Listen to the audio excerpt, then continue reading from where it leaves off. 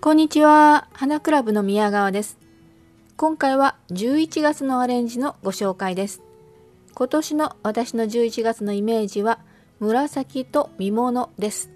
というわけで紫メイン赤を差し色にして作ってみました。とっても素敵に仕上がったのでぜひ最後までご覧ください。スポンジは2センチ程度出して面取りをしてあります。まずカラーから入れていきます。2本入れますが高低差をつけたいと思います。どの程度差をつけるのか器に当てて様子を見ます。で決定してから、えスポンジがこの高さですね。スポンジがこの高さ。でそこから指2本分。もうほんのちょっとですね。でカットします。でほぼまっすぐなんですけど、えーと、カラーはまっすぐ切りなさいってほとんどのところが教えてます、まあ、ほぼまっすぐ切ってください。私はねちょっとだけ斜めに切ってもらってます。あ分かりやすいように線を引きましたが中心線よりも少し左寄りに入れたいかなと思います。で後方寄りですね。にまっすぐ差し込んでいきます。でもう一本の高さを見てスポンジ1から指2本程度のところでほぼまっすぐですが、まあ、私は若干斜めに切ってもらってます。その方がねスポンジに入っていきやすいんですね。高低差をつけました。で若干横位置じゃなくってちょっとだけ短い方がほんの少し後ろ寄りな感じです。次にアナスタシアです。綺麗ですね。もう結構短めです。指まあ23本ぐらいで切ってもらったらいいかなと思います。斜めに切りますね。ちょっとカクッと曲がってるのでそこを削ってできるだけスポンジに入っていくところをストレート。で先端を細めにしておきます。で、えー、今度はカラーは中心よりも少し左寄りにしましたけどアナスタシアは右寄りですね。中心よりも右寄りにしてもらって斜めに前に傾けてぐっさりと刺します。こんな感じです。横から見るとこんな感じです。今度はバラですね、えー、カラーの前あたりに、えー、やはり長短つけて刺していきます。様子を見て高さを決めます。この2本目のカラーよりは短くなるように刺していきます。で刺し分をスポンジのところから指2本程度のところでカット。前から見るカラーの間ぐらいですね。のところにほぼまっすぐ。刺していきます。で正面から見た時にこの鼻の真ん中と鼻の真ん中が縦に通らないように微妙にずらします。やはり長短つけますね。ちょっとずつこうずれて入っていきます。カーネーションです。やはり当てて様子を見ます。今度はこのカラーとバラの間ですね。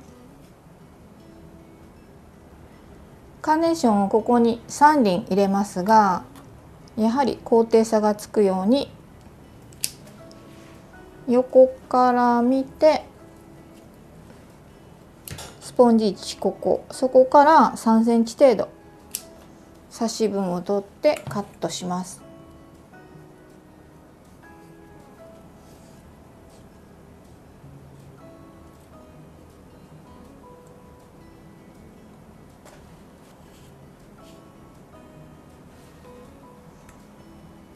3輪のうちの真ん中が高くって2番目3番目っていう感じで落ちていきます。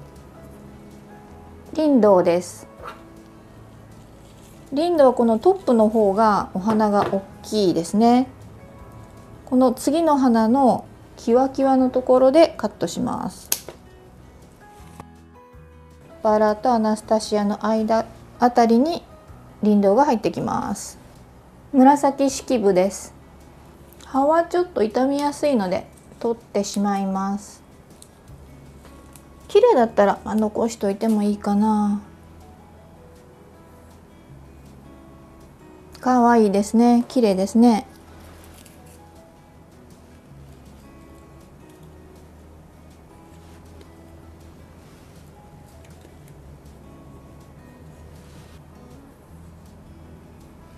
極力このトップの切り口が見えない方がいいですね。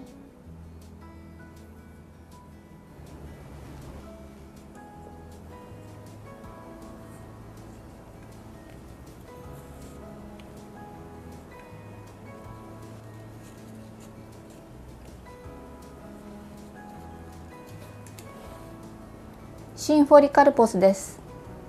これも本当可愛いですね。プリント。してます。こちらの葉っぱも結構あんまり持たないのでまあ大方取っておきます。で取った方が実も可愛く見えてきますね。ちょっとだけ残しとこうかなと思います。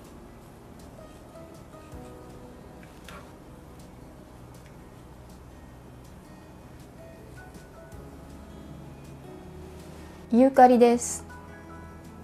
可愛いですよねユーカリって。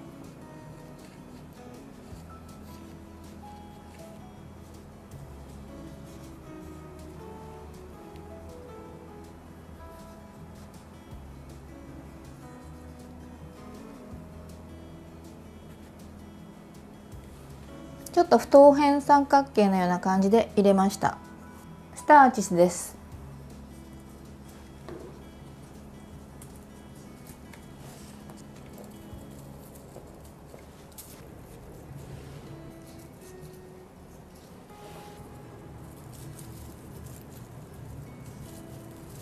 木いちごです。この下にこんな感じで受けて入れようかなと思います。24番ワイヤーです。裏を 5mm 程度。縫います。真ん中押さえておいて一緒に下ろして茎とともに巻きつけます。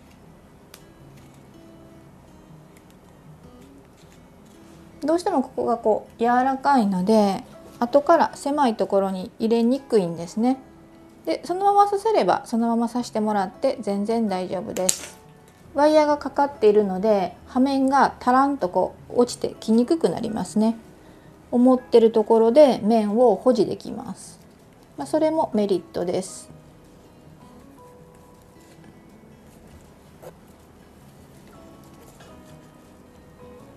重ねて使う時に綺麗に重なりすぎないようにちょっとだけずらします。そこがポイントですね。ちょっとずらしますね。もしそのまま刺せる場合はそのまま刺してもらって全然大丈夫です。両サイドから見てスポンジが丸見えになってないように作っていきますね。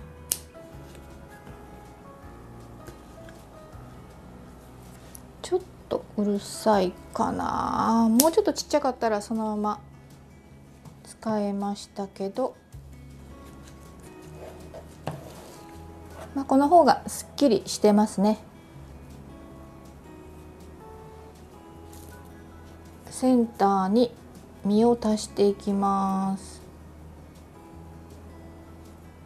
このアナスタシアが大きいのでアナスタシアだけがボンとこうならないようにちょっと重ねを少し作ってあげたらいいかなと思います。重ねすぎてもよろしくないんですけどまあこのぐらいいいかなと思います。雪柳です。やはりこの紅葉の雪柳は雰囲気が秋の雰囲気が出てきますね。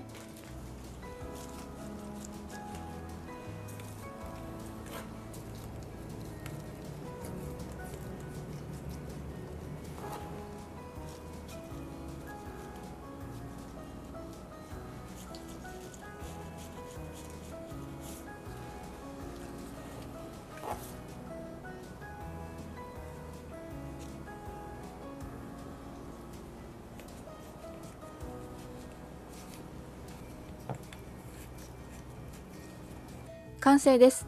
形は少し縦長めのフォルム。花材を固めて使ったグルーピング配置です。グルーピングは花材の特徴を際立たせる効果があります。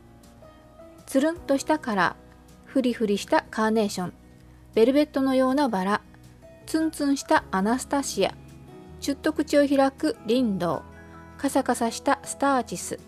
コロンとしたシンフォリカルポス。つぶつぶの紫式部。丸葉のユーカリ。手のひらのようなベビーハンズ。小さな葉とふんわりした雪柳。形とテクスチャーの異なる花材たちは赤バラをアクセントにして上品な紫でまとめた11月のアレンジになりました。今回も最後までご覧いただきましてありがとうございました。また次回の動画でお会いしましょう。またね